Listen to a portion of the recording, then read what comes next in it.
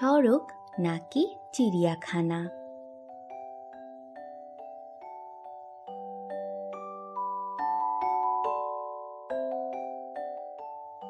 সোনু, মনু ও রিনা খেলতে বের হলো। তারা একটি বিড়াল ছানা দেখতে পেল। সে একটি বড় ইঁদুরের দিকে তাকিয়েছিল। সোনু চেঁচিয়ে বলল, ওই যে দেখো। রিনা দেখল একটি পিঁপড়া বড় ইঁদুরের দিকে যাচ্ছে। হঠাৎ একটি বিশাল ছায়া তাদের ওপর পড়ল। একটি বড় ইগল দেয়ালের ওপর নেমে এলো।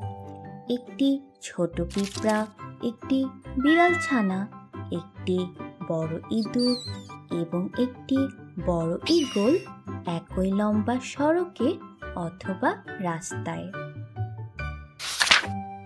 এই দিন বুদ্ধিমান শিশু এখন কি করবে? তারা তাদের ছোট ছোট হাতে তালি দিল। ইগলটি তার বিরাট পাখা মেলে উড়ে গেল। রিনা পিঁপড়াটিকে একটি পাতায় উঠালো।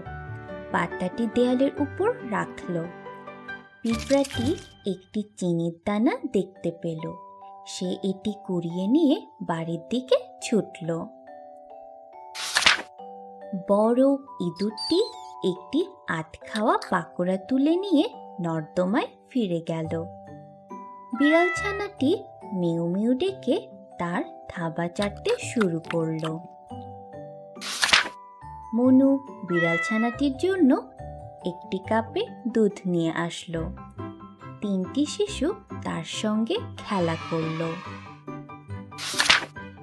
বড় ইগলটি গাছে বসে দৃশ্যটি দেখল এবং উড়ে অনেক দূরে চলে গেল।